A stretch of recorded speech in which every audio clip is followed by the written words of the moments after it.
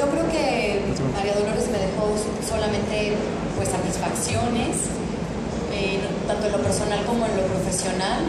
En lo personal, pues eh, la familia que hicimos dentro del proyecto con toda la producción.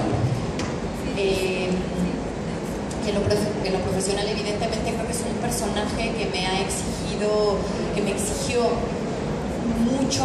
Creo que nunca había estado en un personaje que me con, con, tanto nivel dramático